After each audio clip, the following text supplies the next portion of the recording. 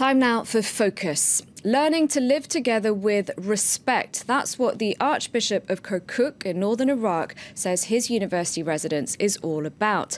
Among the Muslim, Christian, and Yazidi students he hosts are youths who fled Mosul, with efforts continuing to rid the city of Islamic State militants. Eleanor Adri and Oriane Verdier sent us this report. Every afternoon, Shahad walks home from class. She lives in this house with about 20 other university students. Hello, Banat. They are Muslim, Christian, Yazidi, and they all come from the Nineveh Plain in Mosul. To continue their studies, there is only one solution to come and live in Kirkuk, the city where the entire University of Mosul was transferred. Here, Shahad was confronted with the unknown. Me and my sister are from Bashika.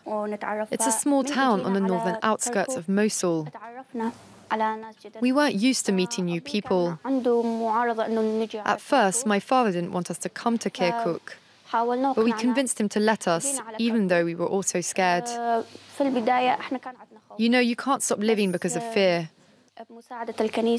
The Church of Kirkuk offered us hospitality and security in this house. Thanks to this, we have new sisters, and our fear has gone. Kirkuk has always been home to many different communities, giving it the nickname Little Iraq. Right in the heart of the city is where Bishop Yusuf Mirkis decided to establish his university residence in 2014. Today, it welcomes 700 students of all denominations. J'ai senti qu'on était devant un Irak nouveau. I felt that we were in front of a new Iraq, an Iraq of the future.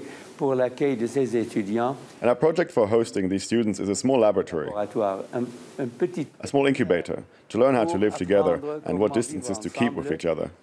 This distance must be filled with respect. À tenir les uns auprès des autres, cette distance doit être remplie de respect. Abu Duraid is one of the administrators at the residence. The students call him uncle. He supports them with kindness while making sure they respect certain rules to ensure peaceful coexistence. When students arrive, I tell them, keep your religion in your private space. For now, despite the presence of Muslims, Yazidis, and Christians together, we haven't had any major problems. It is important that our students keep their religion private.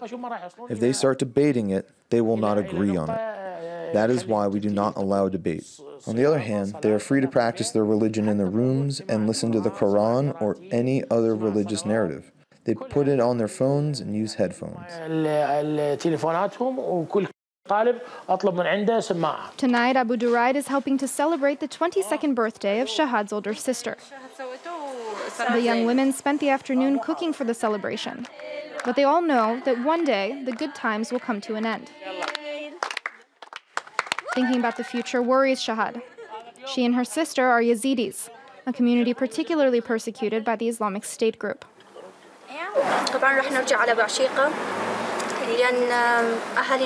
One day we will have to go home.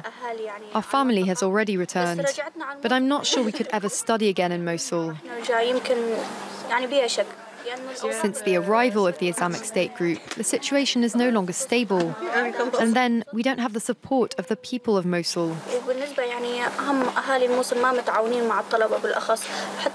Before the arrival of the Islamic State group, my uncle was killed.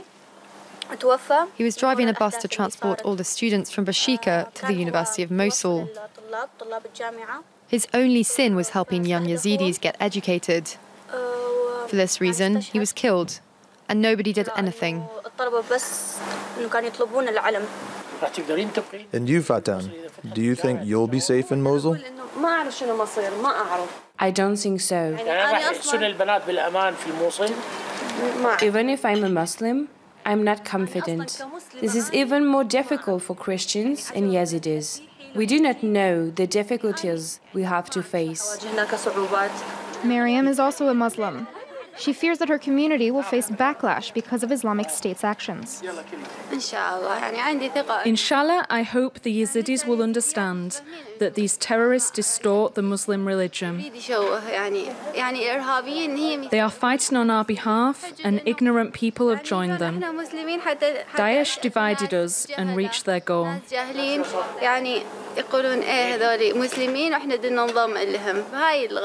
Shahad, Mariam, and their friends only have a few more months to enjoy this safe haven. The University of Mosul is shattered, so there is no question of an immediate return. Even after it reopens, many students say they prefer to withdraw from school rather than return to Mosul, where they no longer trust their neighbors. Eh, eh, For more on this, I'm now joined in the studio by Julien Théron. He's a political scientist specializing in the Middle East. Hello, thank you very much indeed for your time. First of all, I'd like your reaction to that report, the idea of bringing together Iraqi youths of different faiths. What do you make of that? Well, I think that the uh, Arch- Archbishop of, of Kirkuk had a, a, great idea, actually, because these kind of initiatives are pretty rare. Uh, and it's very interesting because it shows that it is possible. But I think that all Iraqis, at least the oldest ones, uh, know that actually they are able to live all together. Uh, we knew that it was the case before. Uh, it's not necessary to have a strict rule under Saddam Hussein to, to live together, but they actually live together. So I think that nobody doubts that in Iraq. But the problem here is not the, uh, practical coexistence. The problem is what about the governance? And this is the main issue, which is not asked in this report because it's not the point actually. It's regarding to the studies, uh, but regarding to the communities, there's a lot of stakes uh, even inside the communities. We always speak about between the Sunni, the Shia, and, and the Kurds, but even among the Shia cycle, for, for instance, in Baghdad, uh, there's a lot of questions about which group, and even inside the party, which group of the party will get the power. Uh, we know that there has been a lot of troubles uh, in the Green Zone, even in the Green Zone, and that the Peace Brigade, the, the movement uh, of uh, the, the cleric, Muqtada al-Sadr, was accused to try to destabilize the government and so on, and they are mainly Shia, both uh, movements. So um, that's interesting. And even in uh, Kurdistan, for instance, there's different political movement inside. One of them, for instance, the PUK, is uh, in control of I'd say something like perhaps a third of the Peshmerga uh, fighters. Uh, another party is coming from the election, the Goran party. I mean, th there's a lot of different stakes inside the communities and among the communities, and sometimes very even more complicated. Like, for instance, the Turkmen Shia who joined the Shia uh, uh militias and so on. So you see that all these complicated puzzle will have to be managed to decide a governance. We'll talk a little bit about uh, post-Islamic State uh, Iraq in, in, a moment, but uh, that's the thing when we talk about uh, fighting the Islamic State group, it's not as simple as Iraqis as a whole versus the Islamic State group. There, there are locals who sometimes meet, need to be convinced of the good intentions of Iraqi forces coming into their town, for example, at the moment in Mosul. True, true. The Islamic State did not come from anything. I mean, uh, you probably know that it was uh, Al Qaeda in Iraq before, or uh, at the country of the two rivers, actually. Um, and actually, at, at, at the time around 2007, it collapsed.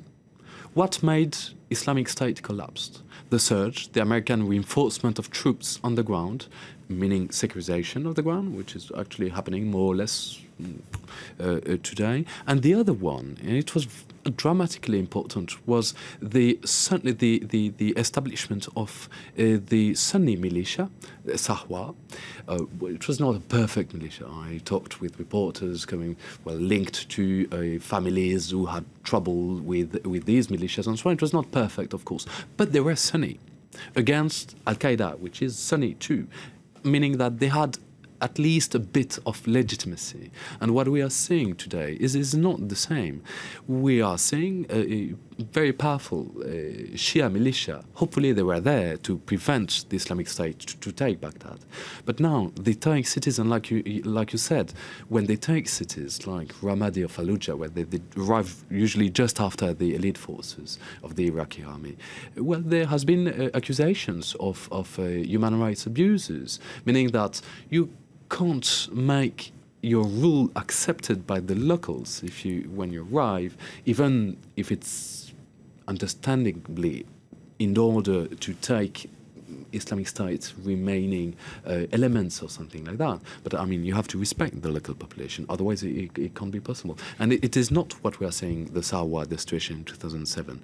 So we are not establishing the condition of a post IS stability in Iraq. And when I say post IS, I mean uh, territory, because they, they're going to be still there in clandestinity, so it won't be like IS free Iraq. We're running out of time, but just a quick word on the situation in Mosul. So the east was liberated earlier this year. Now they're working on, on trying to get rid of uh, the Islamic State group from uh, the west. Uh, when might that wrap up, and what's the plan for after that? You were talking about governance. There has to be a plan then on who's going to take over.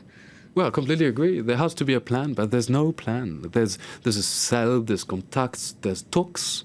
Uh, one of the main questions is the uh, the importance of uh, the Kurdistan uh, autonomous region uh, the possibility to go from a federal Iraq to a confederal Iraq, meaning that the Sunni too would have some kind of autonomous parts of the country. But it's not decided, and the pro-Tehran, pro-Iran uh, forces, the, the, militia and the political parties are mainly against that. So there's actually no plan today, and that's a major issue. The, they're against uh, giving Sunnis a greater say then in the country later on. All right, well, I'm afraid that's all we have time for. Thank you very much indeed, uh, Julien Théron, for coming in.